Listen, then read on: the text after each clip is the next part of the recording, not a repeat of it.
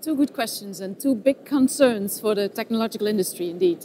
Um, on the remuneration aspect, the first question you need to ask really, if you send somebody, if you post somebody from one country to the next, you first have to see which is the applicable collective agreement.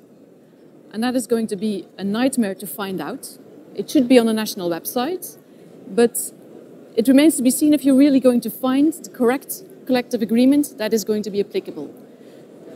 When you have it, you have to find out where do I place my worker into that function classification system of that collective agreement.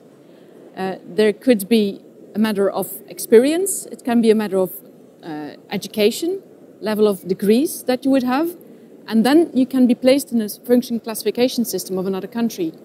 But you'd have to really understand already this function classification system of the collective agreement of the host member state before you can actually say, okay, this is the remuneration that I have to take into account. And then it's not only the minimum salary of this function classification system of the collective agreement, it's all the elements of remuneration.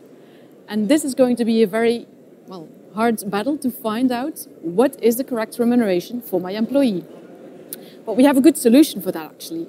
We propose to the Commission um, that maybe they could make an EU remuneration calculator and maybe into the ELA, the European Labour Authority, that has been created right now, it's been decided, they could have an EU remuneration calculator.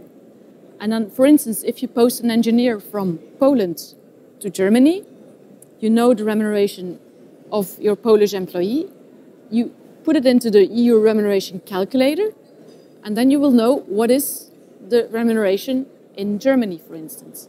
And that would be very good for the company. They would have legal security. For the employee, because they would know what is the salary that I am, have the right to. And also for the social inspectors to really see this is the wage that should have been paid. So it would be a good solution to a very technical and difficult problem.